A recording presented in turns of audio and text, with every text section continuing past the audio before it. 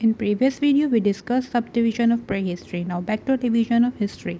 Next age in our list is ice ages. An ice age is long period of reduction in temperature of earth's surface and atmosphere resulting in preservance or expansion of continental and polar ice sheets and alpine glaciers.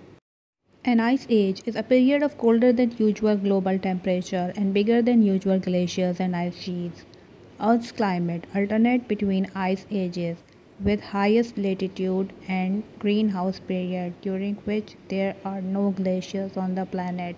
Ice ages don't bring unrelenting cold. During Ice Age, Earth's climate repeatedly changed between cold period and warm period, during which glaciers melted.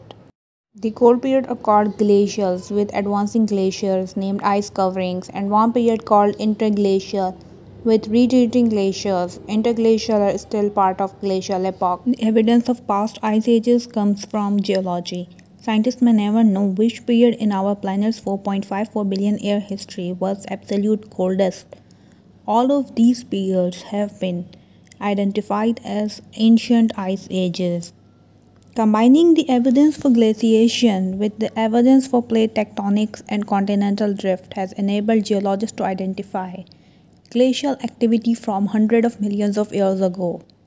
Scientists also studies the chemicals in ice cores from Greenland and rock deposit from ocean floor indicate what the climate was like back then. When a glacier or ice sheet grows or moves across the landscape, it pushes rocks and sediments. When the glacier melts, it leaves piles of rocks behind. The piles of rocks are called moraines. These moraines provide evidence that glaciers once covered large parts of the earth. Some of the coldest conditions struck over 2 billion years ago. The most severe ice age around from 700 to 600 million years ago, named Cryogenian period. The Pleistocene period, roughly 2.6 million to 11,500 years ago, may have brought the coldest condition. Some of the world cold struck 20,000 years ago. There were at least 17 cycles between glacial and interglacial period.